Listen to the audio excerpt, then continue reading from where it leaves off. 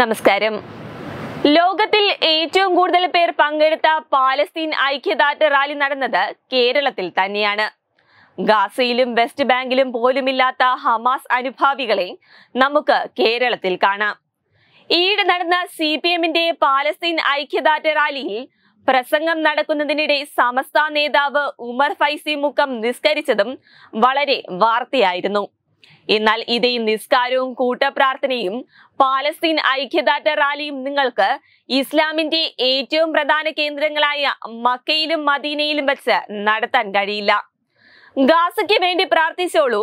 പക്ഷേ അത് സൗദി അറേബ്യയിലെ പുണ്യസ്ഥലങ്ങളിൽ വെച്ച് വേണ്ട എന്നാണ് സൗദി അറേബ്യൻ ഭരണകൂടത്തിന്റെ തീരുമാനം. രാജ്യത്തെ ജനങ്ങൾക്കും സന്ദർശകർക്കും കർശന നിർദ്ദേശമാണ് സൗദി അറേബ്യ നൽകിയിരിക്കുന്നത്. കൂടാതെ പാലസ്തീന് വേണ്ടി മക്കയിലെയും മദീനയും പുണ്യസ്ഥലങ്ങളിൽ വെച്ച് പ്രാർത്ഥന നടത്തിയ ഏതാനും പേരെ സൗദി പോലീസ് അറസ്റ്റ് ചെയ്യുകയും ചെയ്തു. ആരാധനാലയങ്ങളിൽ ഇത്തരം കാര്യമൊന്നും അനുവദിക്കില്ലെന്നാണ് അവരുടെ നിലപാട്. കഴിഞ്ഞ ദിവസം കുടുംബത്തോടൊപ്പം മക്കയിൽ തീർത്ഥാടനത്തിനെത്തിയ ബ്രിട്ടീഷ് നടൻ ഇസ്ലാഖ് അബ്ദുൾ റഹ്മാനെ സൗദി അധികൃതർ തടഞ്ഞതോടെയാണ് സംഭവം പുറത്തു വന്നത് പരമ്പരാഗത വേഷവിധാനമായ കഫയെയും കയ്യിൽ പാലസ്തീനിയൻ രീതിയിലുള്ള തസ്ഹീബും ധരിച്ചതിനും സൗദി പോലീസ് ഇയാളെ തടഞ്ഞു വച്ചതായി മിഡിൽ ഈസ്റ്റ് മാധ്യമങ്ങൾ റിപ്പോർട്ട് ചെയ്തു.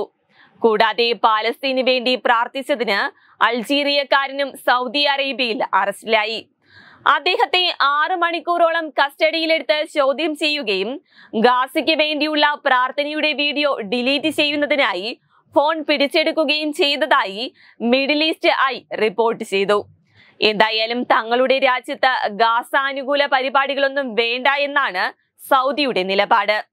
ഗാസയിൽ കൊല്ലപ്പെടുന്ന കുട്ടികളോടും സാധാരണക്കാരോടും ഐക്യദാർഢ്യമുണ്ടെങ്കിലും പരസ്യമായ ഹമാസ് അനുകൂല പരിപാടികൾ ഒന്നും സൗദി അനുവദിക്കാറില്ല.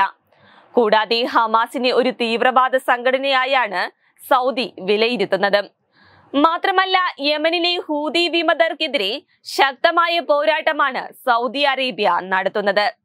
അതുപോലെ ഇപ്പോൾ ഇസ്രായേലിനെ ആക്രമിക്കുന്ന ലബനനിലെ ഹിസ്ബുള്ളയും തങ്ങൾക്ക് ഭീഷണിയായി സൗദി അറേബ്യ കരുതുന്നു. മാത്രമല്ല അടുത്ത കാലത്തായി നല്ല ബന്ധത്തിലേക്ക് നീങ്ങുകയാണ് സൗദിയും ഇസ്രായേലും. ഇവർ തമ്മിൽ കരാർ ഒപ്പിടാൻ വരവെയാണ് ഹമാസ് ആക്രമണം ഉണ്ടായത്. സൗദി മാത്രമല്ല തൊട്ടടുത്ത ഈജിപ്തും ജോർദാനും സിറിയയും ലബനനും അടക്കമുള്ള രാജ്യങ്ങൾ ഇപ്പോൾ പഴയതുപോലെ പാലസ്തീൻ വിഷയത്തിൽ ഇടപെടാറില്ല. O I C organisation of Islamic corporation ഇസ്രായേലിന് എണ്ണ കൊടുക്കില്ല എന്ന് പ്രഖ്യാപിച്ചെങ്കിലും വൈകാതെ തന്നെ അത് തിരുത്തേണ്ടി വന്നു. ചുരുക്കി പറഞ്ഞാൽ കേരളത്തിന്റെ ഓർമ്മയിൽ സൗദിയിൽ പോയി കൂട്ടപ്രാർത്ഥനയും ക്യാമ്പയിനും നടത്തിയാൽ കുടുങ്ങുമെന്ന് ഉറപ്പാണ്. വെബ് ഡെസ്ക് തത്തുമൈ news by Diganda Resort, Ahmedabad, Gujarat.